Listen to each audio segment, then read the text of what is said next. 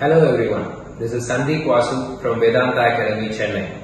I am happy to be part of Namma Ooru Foundation's Masilla Margazhi 4.0. After association with Namma Ooru Foundation, here at Vedanta Academy, we have been more judicious about usage of plastic inside the school campus.